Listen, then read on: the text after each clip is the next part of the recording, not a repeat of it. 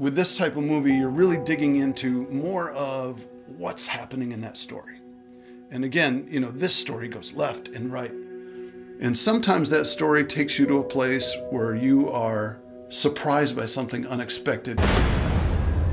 The music does everything to either set you up to expect it or to pull you back to not expect it. And at different parts in the movie, you want to push and pull that audience.